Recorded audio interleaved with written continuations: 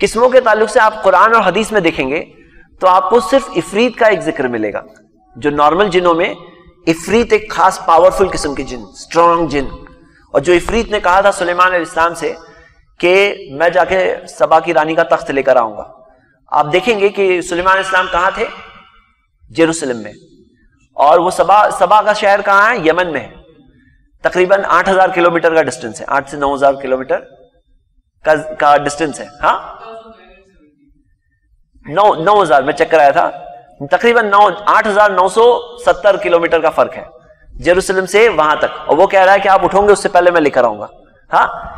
تو یہ دیکھ رہے ہیں کہ افریت پاورفل جن، جو انہیں سمجھ لو کہ ایک ہوتا ہے نا Guinness book of world record میں، جو بولتے ہیں ٹاپ تو وہ جنوں کی دنیا میں ریکارڈ بالکل سب سے پاورفل جن، وہ وہ جس نے کھڑا ہو کر کہا کہ میں سارے جنوں میں سے ایک جن کھڑا ہو کر بول رہا ہے، تو وہ پاورفل قسم اور نبی صلی اللہ علیہ وسلم سے بھی آ کر مقابلہ کرنے کی کوشش کی یعنی کہ آپ سمجھ سکتے ہو اس کے بارے میں۔ جو صحیح بخاری کی حدیث میں نے بتایا تھا آپ کو۔ تو یہ ہو گئی ایک قسم۔ اور باقی جو جنرل ہے، باقی جو جن ہے، تو مرادت الجن ایک اور حدیث میں آتا ہے کہ جو رمضان میں قید ہوتے ہیں، تو کون سے جن قید ہوتے ہیں؟ وہ سرکش شیاطین۔ لیکن جو سرکشی ہے، یہ خود ایک جنس نہیں ہے۔ سرکش کوئی اچھا پاورفل بھی ہو سکتا ہے، سرکش کمزور بھی سرکش ہو سکتا ہے۔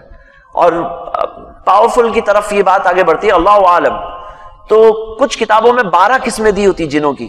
یہ قسم، وہ قسم، وہ اکثر جو ہے قرآن حدیث سے نہیں، وہ۔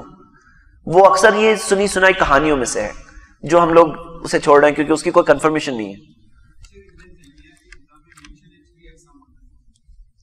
وہ جو تین قسمیں وہ اس طرح سے ہے جانور کے اندر جو آتے ہیں، وہ میں نے حدیث ذکر کی تھی۔ جی جو جانور کے اندر، لیکن وہ بھی ہم دیکھتے ہیں کہ الگ الگ قسموں میں سے ہے۔ جی۔